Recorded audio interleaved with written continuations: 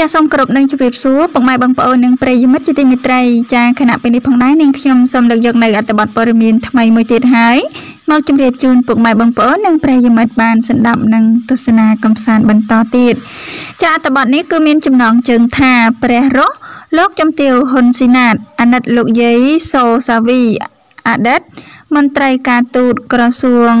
ការបរទេសយ៉ាងខ្លាំងមិនគួរកូនរបស់គាត់ធ្វើបែបនេះសោះ ចា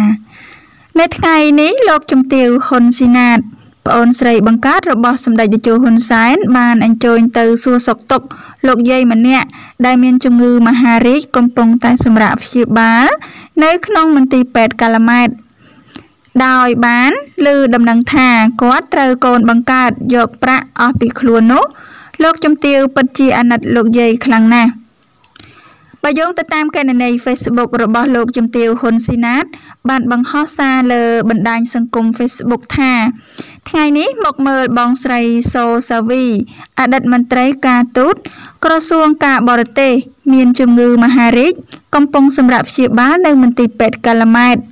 ពេលនេះគាត់ប្រាប់ខ្ញុំថាជួយគាត់ផង ដោយហេតុថាកូនប្រុសបង្កើតរបស់គាត់ឈ្មោះសានវិសិទ្ធ ចាអាយុ34ឆ្នាំ បានដកប្រាក់របស់គាត់ពីធនាគារអស់ចំនួន410,000ដុល្លារហើយមិនយកមកឲ្យចាបងថ្លៃព្យាបាលជំងឺមហារីកចាបងស្រីបានរៀបរាប់ថាកូនប្រុសពៅរបស់គាត់ មិនត្រឹមតែដកលុយរបស់គាត់ពីធនាគារទេថែមទាំងបានចាយកប្លង់ផ្ទះរបស់គាត់ ទៅបាត់ទៀតផងចាមីងជាអ្នក ក្រៅ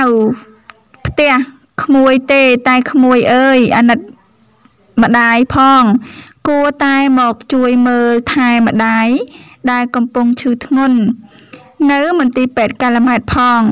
បើមិនបានជួយម្ដាយកុំធ្វើបាបម្ដាយបង្កើតរបស់ខ្លួនព្រោះទង្វើនេះ បាបធ្ងន់ធ្ងរណាស់គាត់បង្កើតក្មួយមកឈាមកាត់ថ្លុក សូមជូនពរឲ្យបងស្រីឆាប់ជាសះស្បើយពីជំងឺនេះ ចាថ្ងៃទី9ខែ7 2020ចាពុកម៉ែបងប្អូនជាទីគោរពនិងជាទីមេត្រីសម្រាប់អត្ថបទព័ត៌មានដែលនាងខ្ញុំបានជម្រាបជូនចាពាក់ព័ន្ធជាមួយនឹងលោកជំទាវហ៊ុនស៊ីណាតអាណិតលោកយាយសូសាវី ចាអតីតមន្ត្រីការទូតក្រសួងការបរទេសយ៉ាងខ្លាំងចាដោយមិនគួរណាកូនប្រុសរបស់គាត់ធ្វើបែបនេះដាក់គាត់សោះចា ដែលនាងខ្ញុំបានជម្រាបជូននៅពេលនេះក៏សូមបញ្ចប់ទៅត្រឹមប៉ុណ្ណឹងផងដែរក៏សូមអរគុណរាល់ការតាមដានស្ដាប់និងទស្សនារបស់ពុកម៉ែបងប្អូន និងប្រិយមិត្តទាំងអស់សូមប្រិយមិត្តជួយចុច Subscribe និងរូបកណ្ដឹង ដើម្បីទទួលបាននៅអត្ថបទព័ត៌មានថ្មីៗនិងចំណេះដឹងថ្មីៗជារៀងរាល់ថ្ងៃផងដែរសូមអរគុណសូមគោរពលា